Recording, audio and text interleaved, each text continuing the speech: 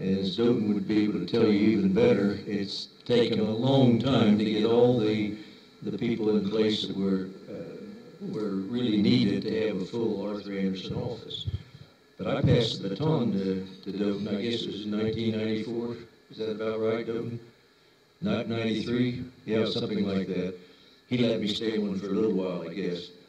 And, uh, that's when, uh, breaking off and doing things in the investment area, started to happen.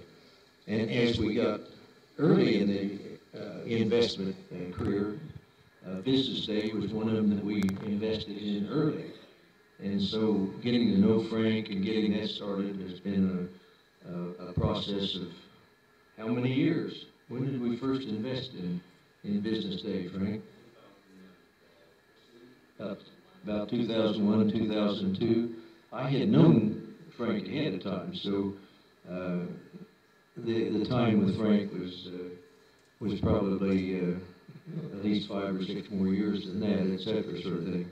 So when you start an, answering the question you, you gave me, one thing led to another.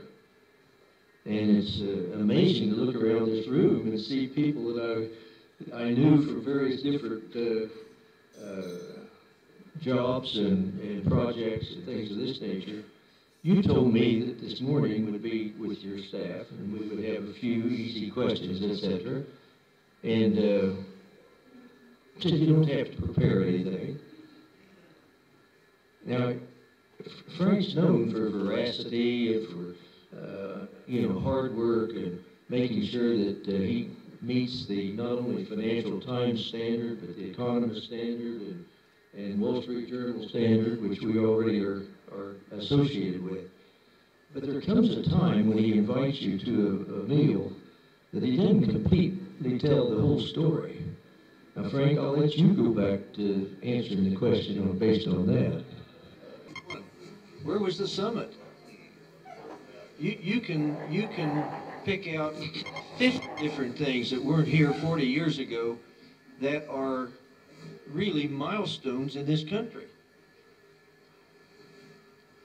And the question is, how did they happen?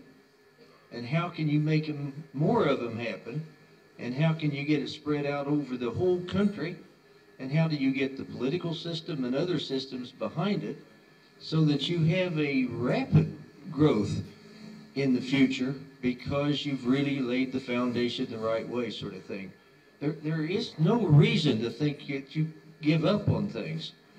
So I'd rather you, you talked about an unfinished business or in process a vision in process and not one, oh, this is lost. I mean, you know, we're, we're in terrible trouble. I mean, God has forsaken us and, and the rest of the world doesn't like us and all this sort of thing. No, the problem is right here at home. It's no different than my mother and father saying, when you point your finger at somebody, remember four fingers are pointing back at you.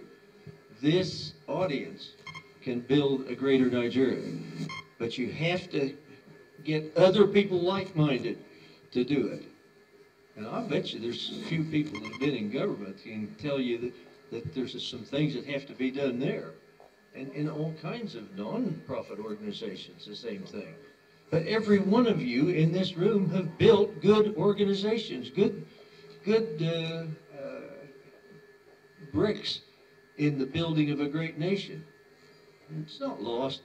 It's just unfinished. Now, let me just end this by saying, when did the United States get its independence? 1776. When did they fight the Civil War? Oh, the 1860s? When did they actually get to the point that they were a, an economy that was really developing and grew very rapidly, sort of thing? wasn't even, it wasn't even the 1900, probably 1890s, 1895, 1900. Wait a minute, 1776 from these dates? Look, you don't give up on Nigeria. Just make it grow in the right direction, and you are the people who will plant the seeds.